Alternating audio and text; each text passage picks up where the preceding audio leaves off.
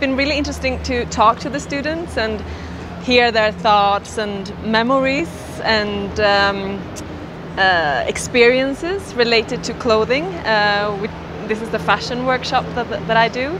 And uh, tomorrow we're gonna talk about what they done yesterday. Uh, they start making things.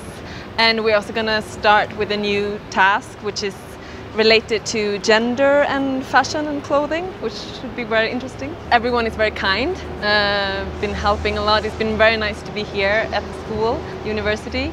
And then it's a lot of things happening, like there's a lot of things to see and experience. So I think it's been really, really nice.